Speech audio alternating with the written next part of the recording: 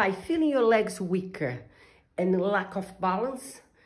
I show you this great exercise to get more leg strength and improve your body balance because this is a, a great problem for people mid 30s and above. When you don't have a balance, a good balance, a good body balance, you can fall, you can break your hip, you can bang your head on the floor. But I'm here to show you this great exercise. Look, I'm gonna use it is. It's an exercise called Bulgarian squats.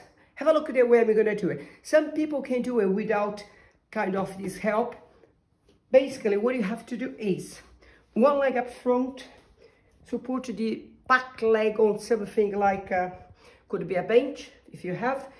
You go all the way down and push off with the front leg. Look, if you have a good body balance, you can try without supporting yourself on, like I've got the sofa here, I'm just supporting myself to do the movement. Look, suppose I don't have a good body balance and I'm just with one hand on my sofa here, just to make sure I don't fall over.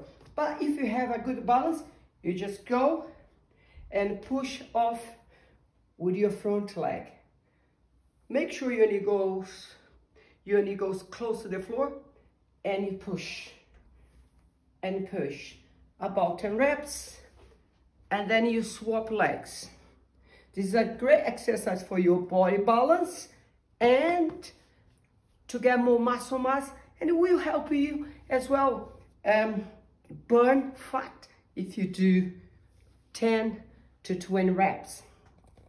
I'd like you to come back to me in one month's time let me know how things are going. I'm gonna, I'm 100% sure your leg, your body balance, you'll be improved doing this exercise.